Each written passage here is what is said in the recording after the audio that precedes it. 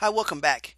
On the last video, we were we had a lot of fun, right? We we validated some of this, this information coming from the form down here, and we cut it here, finding out that the form was submitted.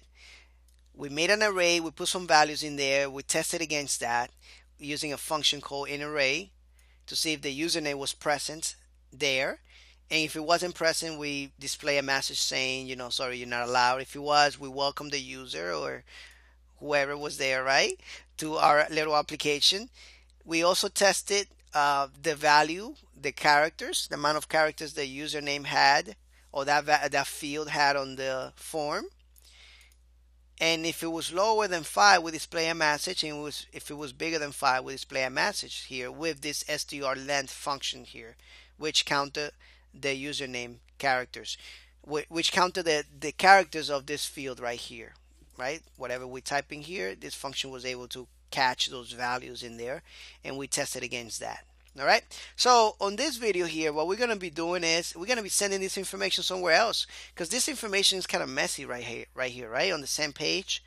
So usually I told you that we have another page to do this.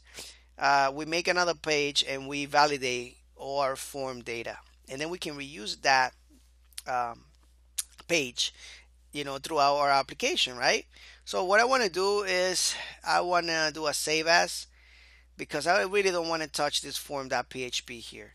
I want to leave this for you so I'm going to do a save as and call this form external save now we have a different form that we can play around with it right now you have a form over there in your courses exercise files that you can refer to the single page validation. This one is going to be an external because what, what I want to do is I want to send all this data to another form and the form to another page. The page is going to be called form process. All right, and we're going to make it right now. So let's go ahead and open our blank.php. Let's do a save as and let's make this uh, what, what was it? Form process. There we go. That .PHP and I'm gonna take all this HTML out of there because it's not gonna take HTML by the way. We could put HTML but it's not going to do that. So what we need to do first is we need to go in the browser to this form. I think my editor already took me there. There we go. And it took me to form process. Alright so if you're not there for some reason make sure that you go to your browser and type it in. Alright so when I type, uh, type in some data here, it's gonna get sent to the form underscore process and it's gonna process it right. He's gonna give us some information. So this is an external validation form. So I'm gonna say my name is Edwin and this is the password. I'm gonna click submit and look at the browser, look at the address bar right here. What is it gonna do? Submit and as you can see it changed to form process here. Alright, it didn't display anything because some reason is not displaying but but know that it did change it did go there to form process. The, the reason why it's not displaying because we don't have any of this data there so it's still too soon to do that. So let's go ahead and copy all this stuff here. Let's take it out from this form external. Let's save it and then let's put it in that form underscore process right here because it doesn't have anything. Let's do that. All right. There we go. Now it's doing something right? Let's just take that off and by I put my mouse uh, cursor here and just click enter to empty it out. Let's actually go back here.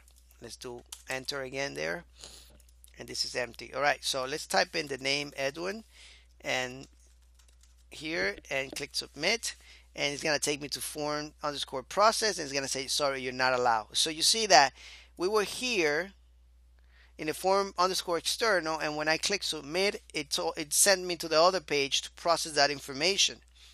So I'm just gonna click some really long name there and submit and it says user cannot be longer than 10 sorry you're not allowed. It's processing the data right here. So this is how you send the data to another form and validate it. Alright so hopefully you were able to to learn how to do this and if not, just go rewind the video, look at it again. If you still have any questions, call me.